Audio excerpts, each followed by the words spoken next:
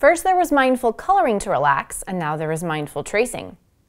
Hi, I'm Laurie from TTPM. Ravensdaughter's Celtic Mandalynth and Finger Labyrinth card packs provide focused awareness of following a path to help your mind calm down. There are travel card pack versions of each that include 10 full color cards, each with a different design to trace. There's also a sparkly stylus to use, but you could use a capped pen, a coffee stir stick, or something similar as a stylus. On the back of each card, you'll find information about the design, as well as an inspirational phrase.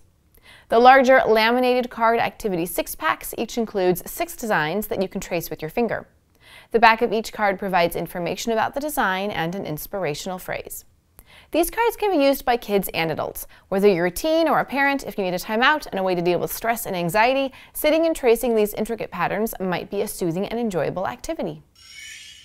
For where to buy and current prices, visit TTPM and subscribe to our YouTube channels for more reviews every day.